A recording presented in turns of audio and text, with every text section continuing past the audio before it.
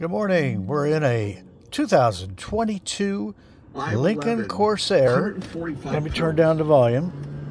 Lincoln Corsair Grand Touring. And you can see the center stock dashboard.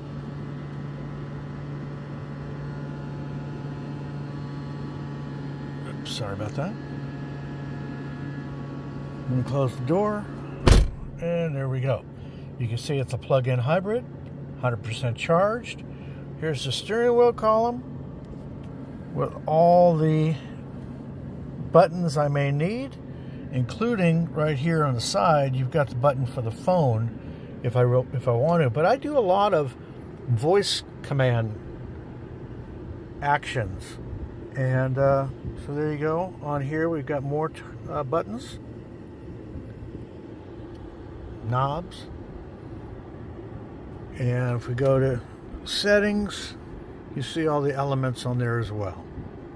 Okay, thank you.